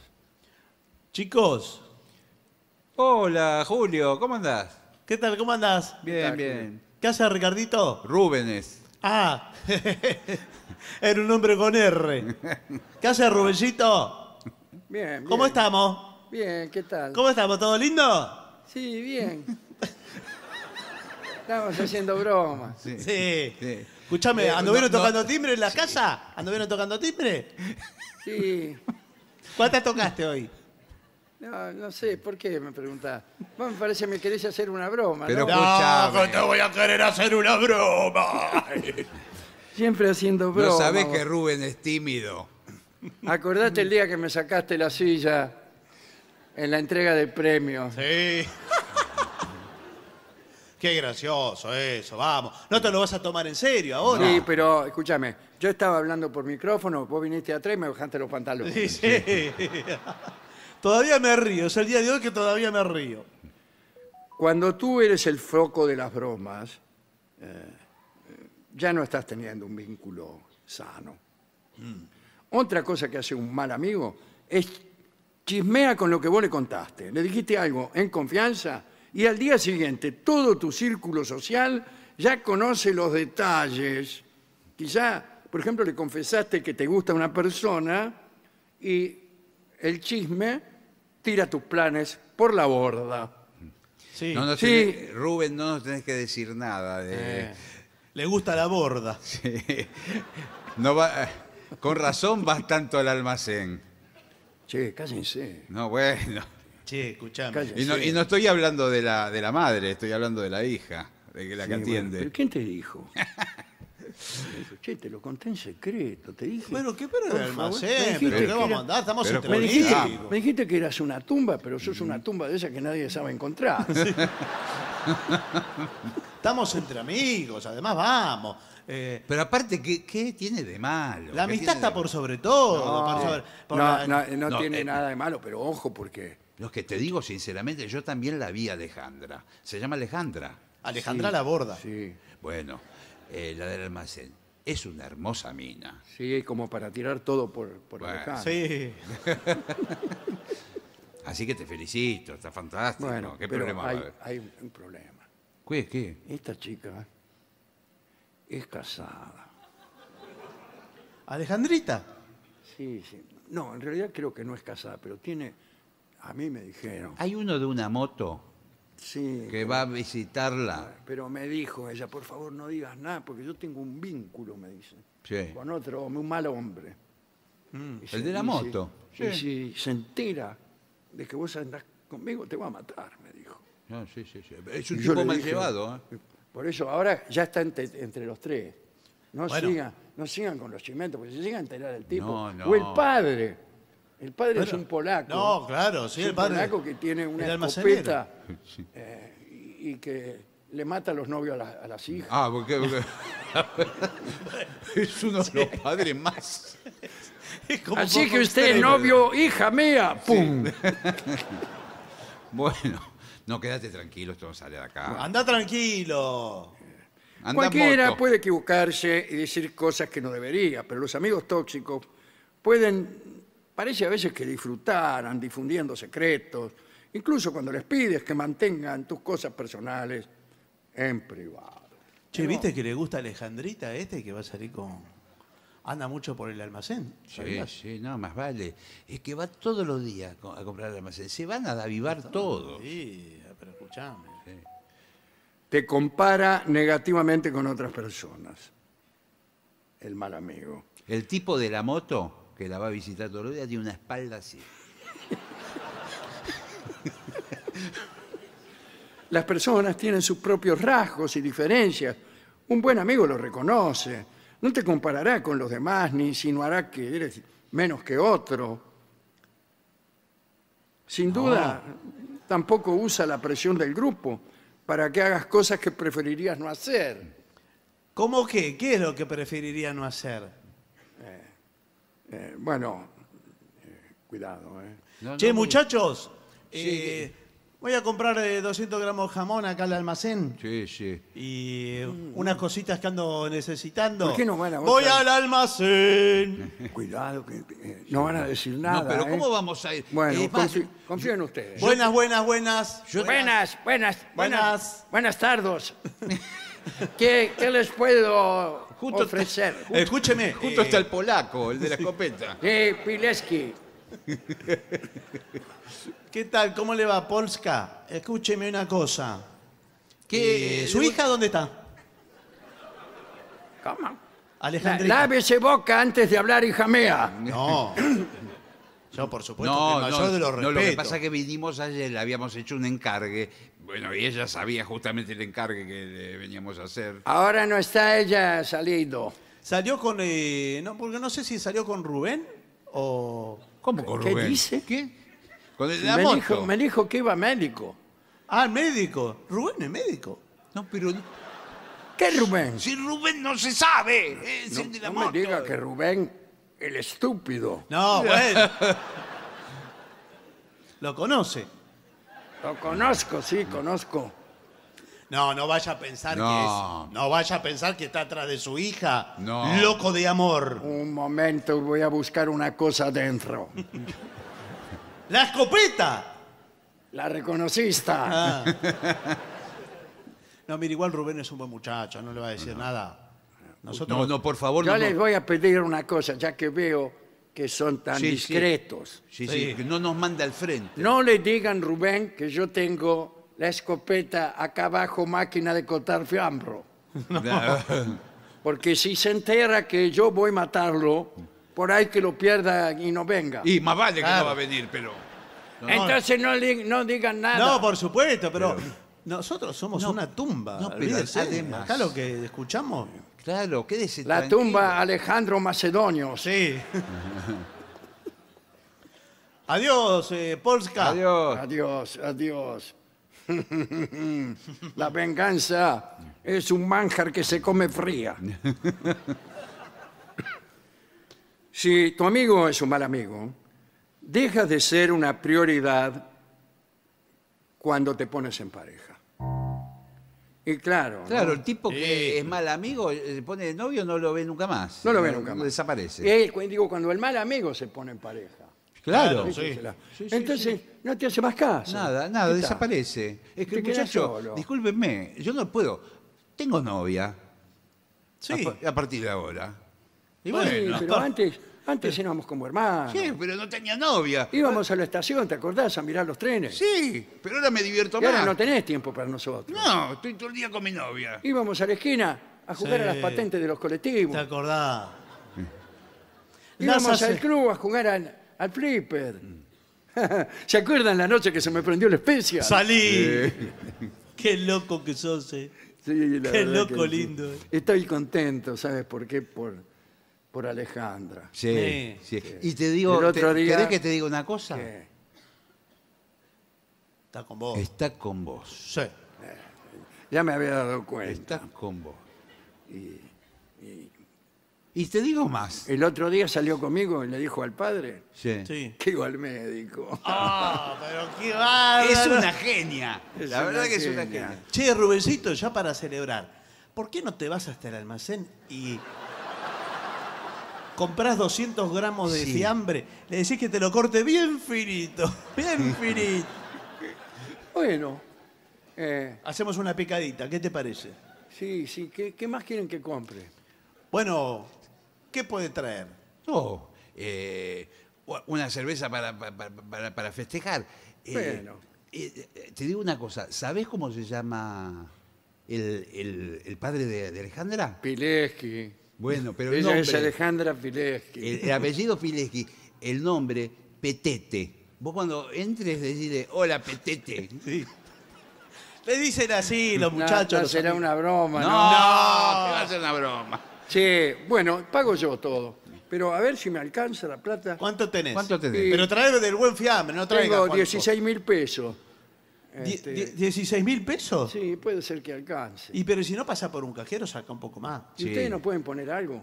Yo, Eh, pará. escúchame, ayer le compré los alian- las alianzas de compromiso a mi novia. Me quedé sin un peso. Justamente te iba a pedir dos mil pesos y me, me bancabas para... Sí, cómo no, tomá. Bueno, bueno, listo. no, gracias. Tengo 14 mil pesos, ¿me alcanzará? Bueno, podés pasar por algún lado. Mirá, decir que parece calcado que nos Sí, sí. hubiéramos puesto de acuerdo, porque vos le pedí dos mil pesos. Sí. Yo andaba necesitando tres mil pesos, porque... ¿Tres mil? Tres mil, por, eh, ¿viste los flippers? Eso, ¿te acordás de lo que vos jugabas? Sí, un día se me prendió el especial. Bueno, ya sé. y sabés que vi uno, una réplica hermosa. Tenés que comprártelo. Aunque Digo, no tengas la plata esto- y la pero tenga ¿sabés por él, qué? Digo, tenés que comprártelo. Porque esto para el que juegue él. Sí, sí, sí. Yo vi, lo vi y lo pensé en vos. Pero Ese es un- pará, no te va a alcanzar con tres mil pesos. No, no me va a alcanzar. Pero, Pero, lo que, mirá, pero aquí tengo el reloj. Sí. Este reloj vale 20 mil pesos. ¿Vale 20 mil pesos ese reloj? por ahí con eso te alcanza. Sí, ¿y la campera?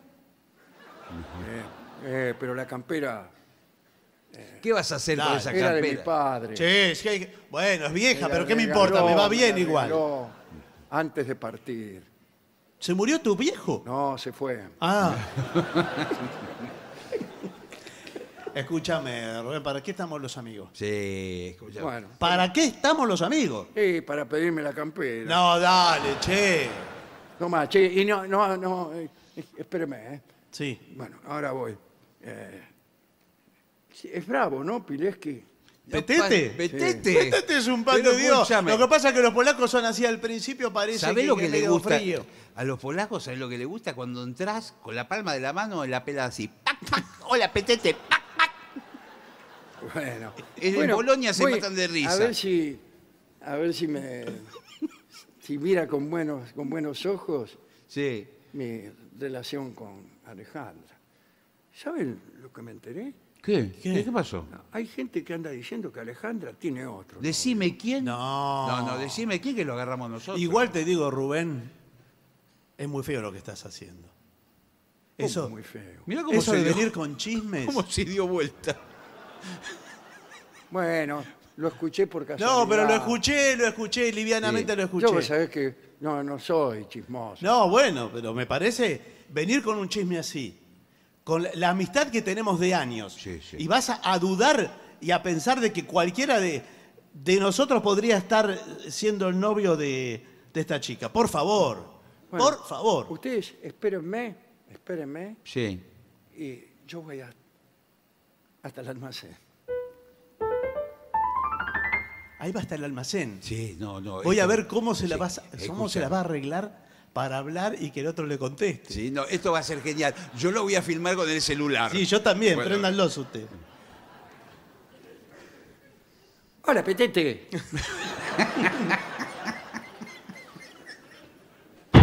¡Uh! Bien finito, ¿eh?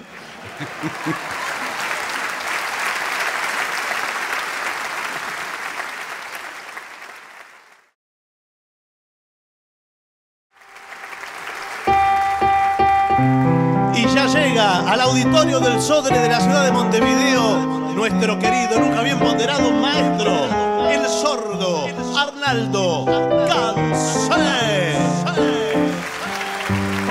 Y acompañan esta noche a nuestro querido maestro, los integrantes del trío sin nombre, Lucrecia López Sanz. El señor Martín Caco Dolina y su babosa. Y el licenciado pentacadémico Anetolina. Anetolina.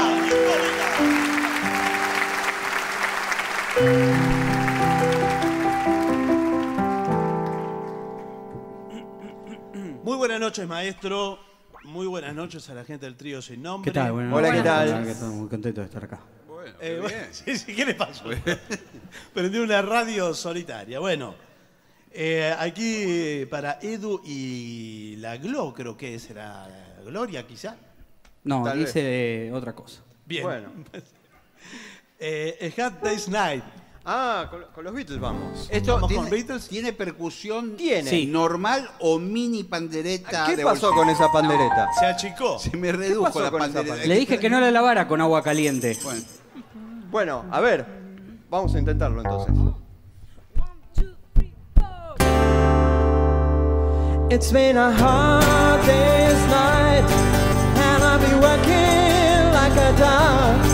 It's been a hard day's night, I should be sleeping like a log.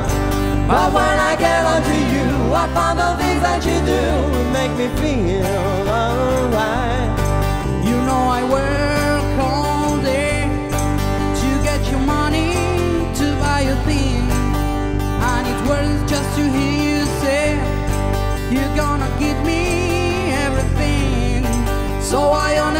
earth should I moan Cause when I get you alone You know I feel okay. When I'm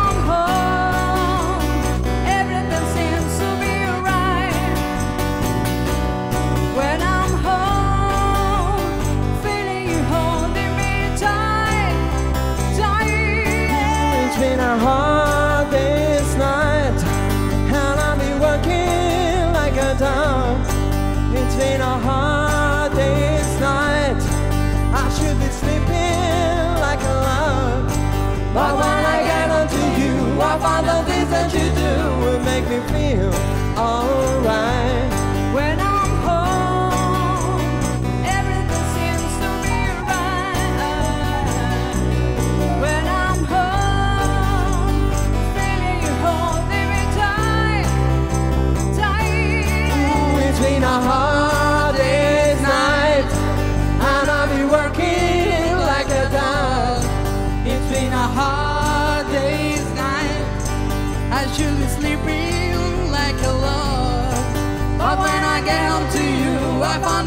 that you do will make me feel alright. You know I feel alright.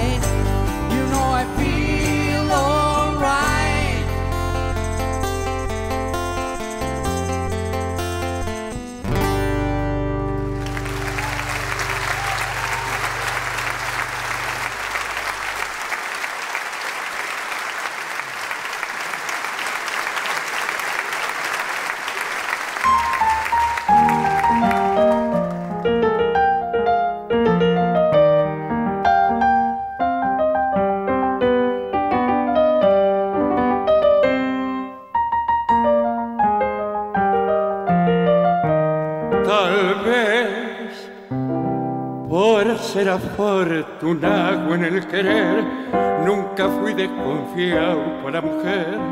Siempre supe entreverarme sin complicarme y al fin largué. La fui de mozo, tabla y rompedor, mientras duró el jueguito ligador. Pero la última fulana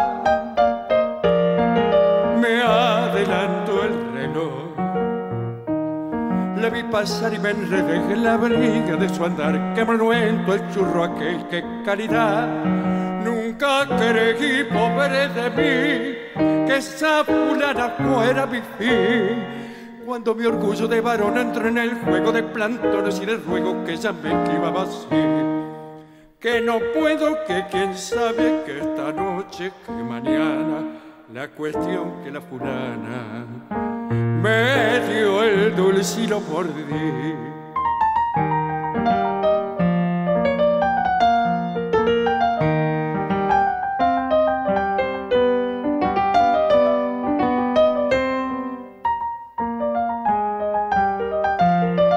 Ya ve, aquel mocito taura y rompedor, hoy es un convencido jugador, muy quietecito y conforme con su uniforme de changador. La pinta es puro grupo y nada más, hay que vivir en serio y laburar y encontrar a la fulana que a uno lo haga cambiar. La vi pasar y me enredé en la armonía de su andar. Qué monumento el churro aquel que caridad. Nunca creí, pobre de mí, que esa fulana fuera mi fin. Cuando mi orgullo de varón entró en el juego de plantones y de ruego que ya me esquivaba así. Que no puedo, que quién sabe que esta noche, que mañana, la cuestión que la fulana me dio el dulce y lo mordí. ¡Hey!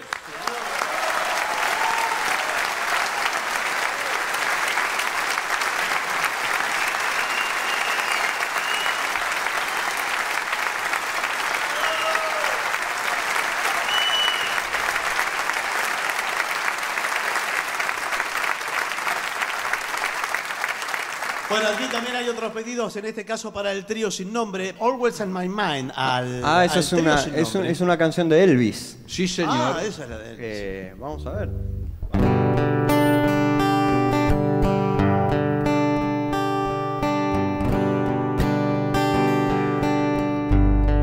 Maybe I didn't treat you quite as good as I should have. Maybe I didn't love you quite as often as I could have. Little things that you have said and done, I just never took the time.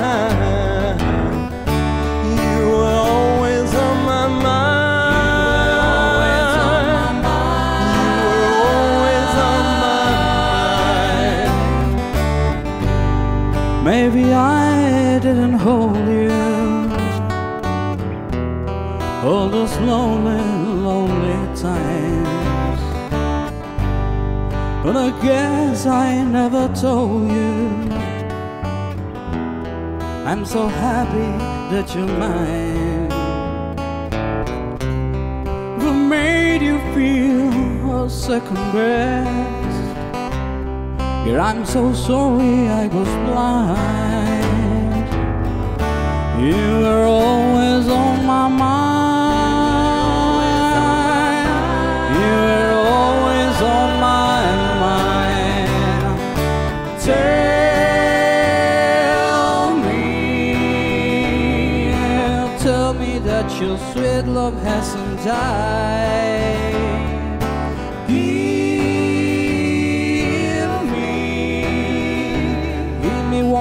Chance to keep you satisfied, satisfied.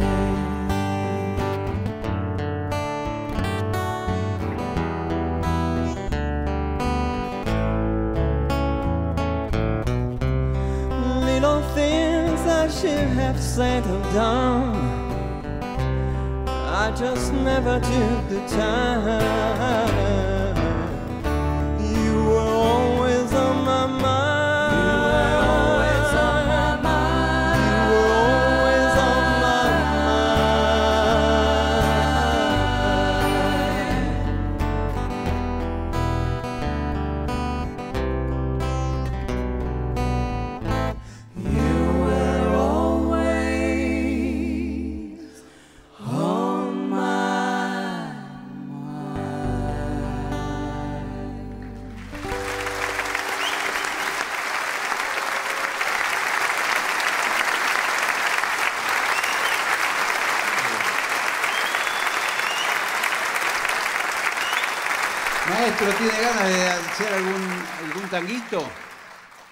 No, vamos a hacer una canción española, Ah, si bueno. me lo permite. Sí, señor. Vamos a ver si me la acuerdo.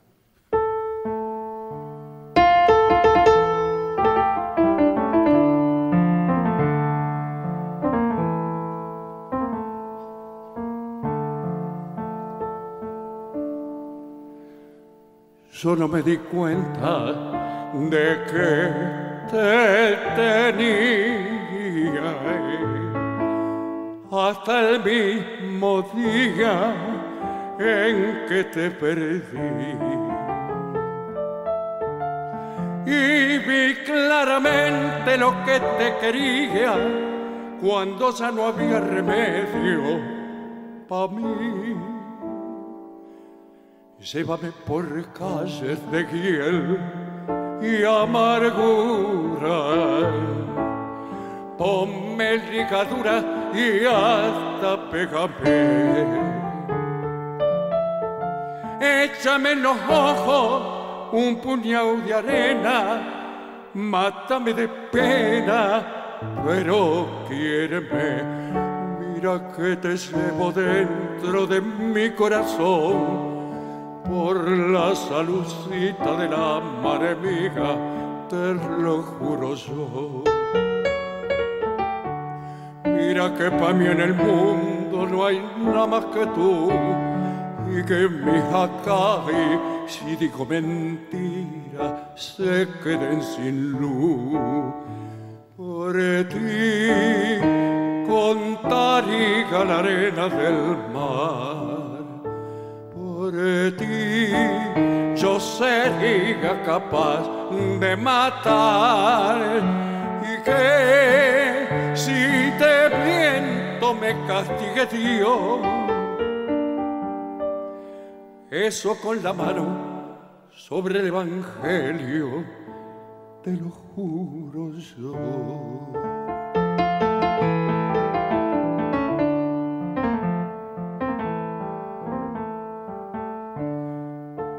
ya no eres la misma que yo conocía, la que no vivía nada más que por mí. Y hoy te vas con otro distinto cada día, en cambio yo muero de celos por ti. Claro que la culpa de que esto pasara no la tuvo nadie, nadie más que yo. Yo que me reía de que esto acabara y hoy muero de pena porque se acabó. Mira que te llevo dentro de mi corazón por la saludcita de la mar amiga, te lo juro yo. Mira que para mí en el mundo no hay nada más que tú y que mi jacay, si digo mentiras, se queden sin luz. Por ti cantaría la arena del mar, por ti yo sería capaz de matar y que si te miento me castigue Dios. rezo con la mano sobre el Evangelio, te lo juro, yo.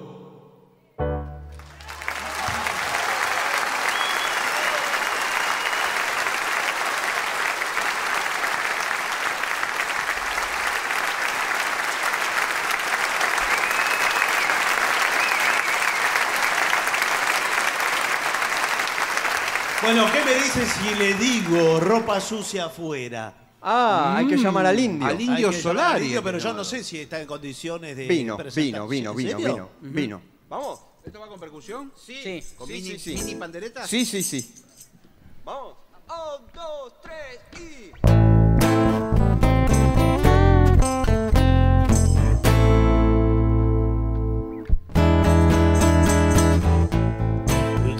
usas los dientes, mi amor, clavados en el cuello por hoy, mientras bailamos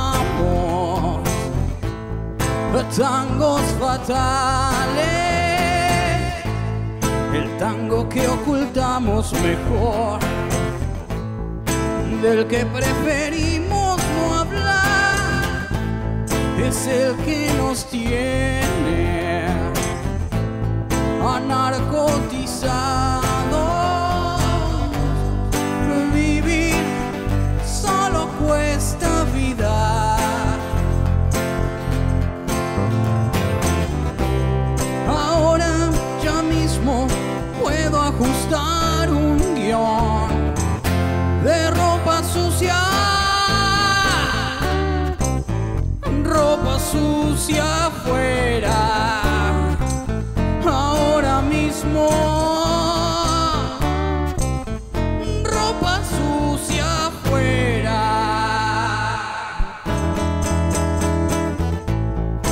Andas dando cuerda y temblas. Gastándote en relámpagos. Tu estómago gruñe como enjaulado.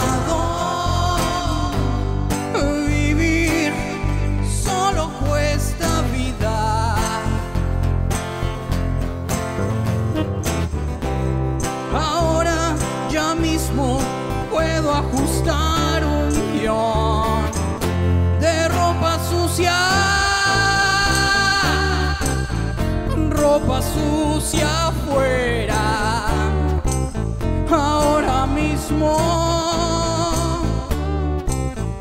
Ropa sucia afuera.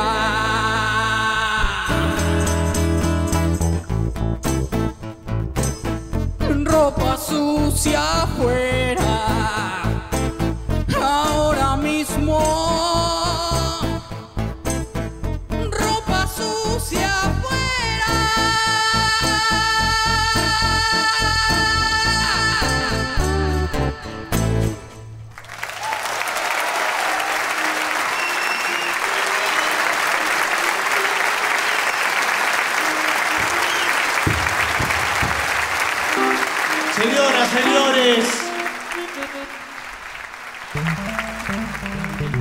Este es el momento en que la luz se torna un poco más dorada porque llega al escenario la trompeta, de Guilherme.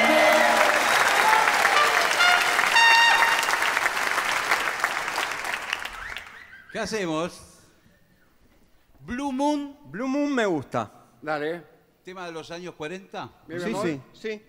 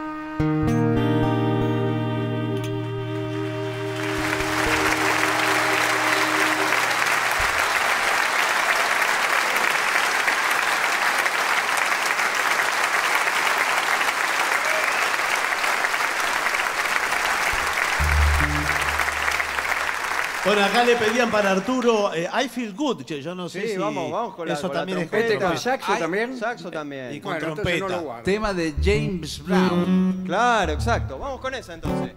Vamos. Vamos. Un, dos, tres y. I feel good. I know that I would now.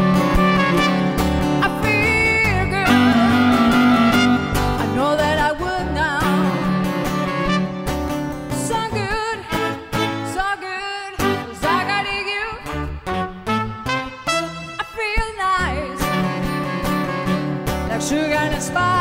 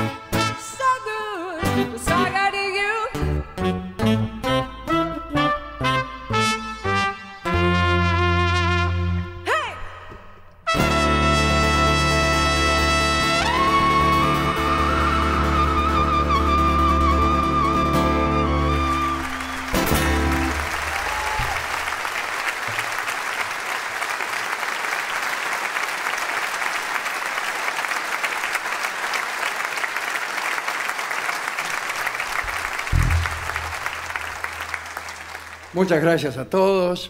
Hemos disfrutado muchísimo este paso por Montevideo. Y vamos a cantar nuestra última canción de la noche. Muy bien. Tiene eh, un tono épico la canción, ya que constituye la descripción somera Sí. de una bandera. Uy, uy, uy, uy, uy, uy. Eh, ¿Qué pasó? la riqueza poética de la descripción de, unos- de los colores de una bandera eh, pasa mucho por la cantidad de colores que la bandera tiene. Sí, señor. Así, una bandera de un color genera canciones más bien pobres, Sí. de dos colores puede ser, hasta que aparecen las insoportables banderas multicolores, donde solamente para decir de qué color es una bandera se emplean 16 compases. Sí. Por ejemplo, blanca, verde, azul, violeta, anaranjada, negra y a cuadritos es la bandera de X país. Sí.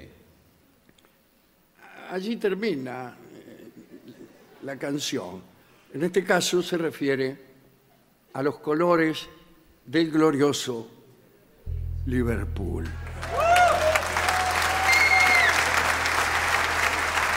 Y con esta canción nos despedimos, nos convertimos todos de golpe, Sí. los Peña, los de Nacional, todos nos convertimos en hinchas del Liverpool.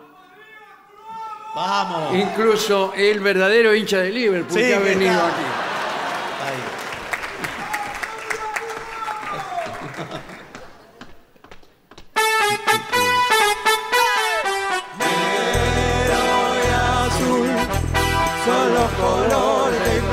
Glorioso